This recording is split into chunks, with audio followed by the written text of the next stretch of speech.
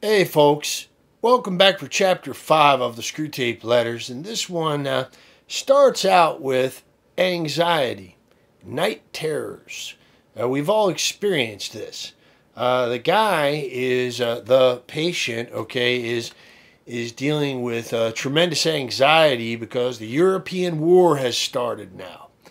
And this guy has all kind of wild imaginings about what's going to happen and the devil is playing upon that.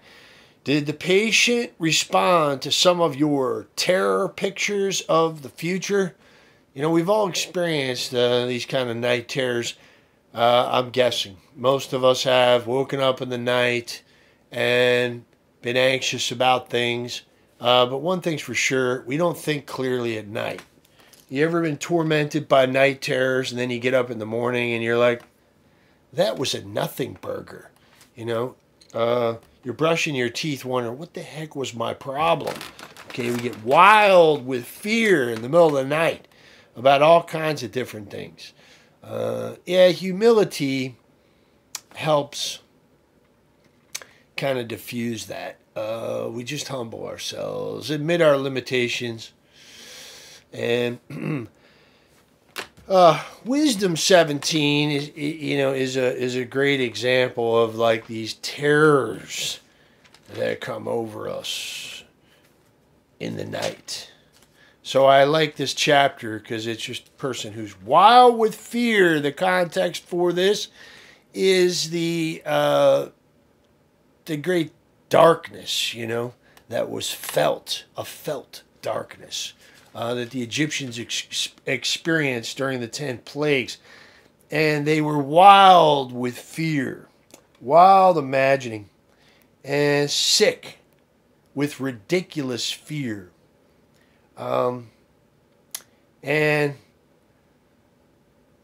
fear is nothing. This is an interesting insight here. This is Wisdom chapter 17, verse 12. Fear is nothing but surrender of the helps that come from reason and the inner expectation of help being weak prefers ignorance of what causes the torment. For throughout the night, which was really powerless, and which beset them from the recesses of powerless Hades. Very interesting.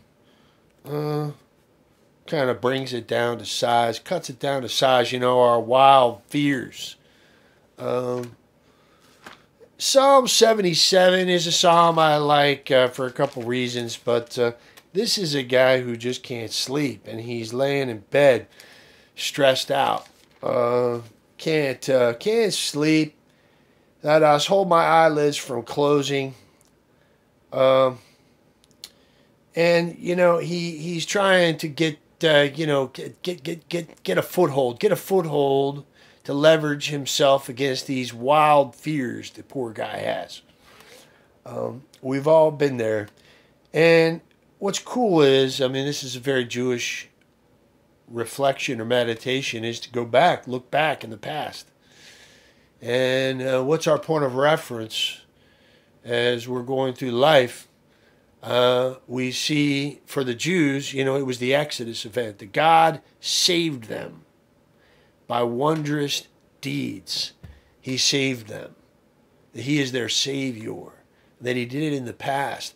Thoughts of God uh, bring reassurance uh, who God is, reflecting upon God.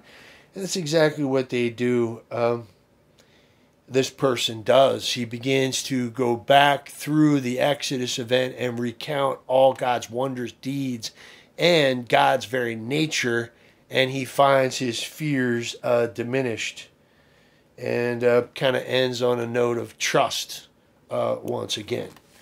Uh, so the devil wants to undermine our faith and prevent the formation of virtue in the soul. Uh, that's an interesting statement there that Screwtape makes. Um, have their attention diverted from themselves to values and causes causes which they believe to be higher than the self. So there's a danger when a war starts because, you know, people um, uh, be, become focused on something greater than the self. and this contented worldliness. Uh, that's what the devil really wants to just keep us in that state of contented worldliness uh, and lull us to sleep. So, war has the effect of uh, snapping us out of that worldly contentedness. Uh, when the bombs start falling and the draft cards start going out, um, look, men are killed in places where they knew they might be killed, and to which they go if they are at all of the enemy's party prepared. Okay, so believers who already have a seed of faith, strength it could strengthen their faith uh, because they could kind of like uh, you know consolidate their faith uh, before they enter into battle, before they enter into mortal danger. Uh, this could could consolidate them in their faith. Uh, rather, it'd be better if somebody just died with lies. Everybody lying to them, the nurses, their friends, the doctors, everybody lying to them, uh, telling, promising life to the dying. You know, uh, to deny death, the reality of death, is uh, a terrible thing. Um, to not look and face squarely the question of death is a tactic of the evil one because the thought of death is a bucket of cold water to the face. right? And uh, we don't believe in our own death. We don't want to think about our own death. Uh, but if we be healthy and wise, uh, we will think about it every day. If we be an authentic human being, to be really truly living an authentic human life, you have to face it. Uh, and when we do, for me, the thought of death gives me joy. Uh, you may think that's crazy, but well, the further I get away from the thought of my own death, the more confused I get. Uh, the more I get caught up in this contented worldliness. I start drifting away from God. I, I start drifting away from my true identity and my the true meaning and purpose uh, of my life down here, uh, my mission and I and and destiny uh, begin to kind of, um, you know, become less clear. So death wakes us up to all the fundamental human questions come rushing into our brain, dashing against our forehead. The moment that bucket of cold water, the thought of death hits our face. So to me, it's hitting the reset button.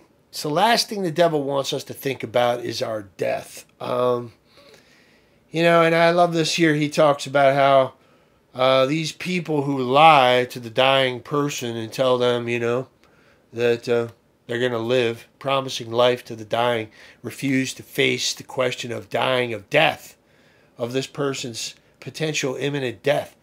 Um, you know, you, you don't want to call the priest. You don't want to call the priest because you'll upset the person. You know, and make them think about the possibility that they might die.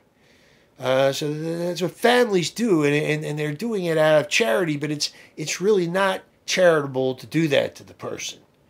Okay? And they wait until the last conceivable moment to call the priest. And we're tearing over there, and sometimes we don't make it in time. You know, they wait until the person's already dead. Then they call the priest. And we go over there, and all we can do at that point is uh, bless the body but uh, you know, depends if how recent it it's been since they died. Uh, so anyway, sacraments are for the living. So make sure you get uh, if you have somebody, a friend, relative who's dying, uh, make sure you call the priest in plenty of time.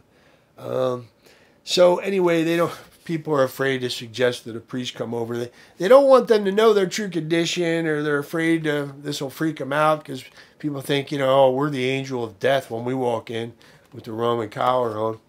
All right. So, uh, lastly, here, uh, is there anything else? At the precise moment of terror, bereavement, or physical pain, or we might say mortal danger, you may catch your man when his reason is temporary, temporarily suspended. So the devil can get in there and confuse and bewilder us, maybe, and uh, keep us from thinking about God. But even then, if he applies to enemy headquarters, if he reaches out in prayer to the Almighty, I have found, Screwtape says, that the post is nearly always defended. Until next time, God bless you.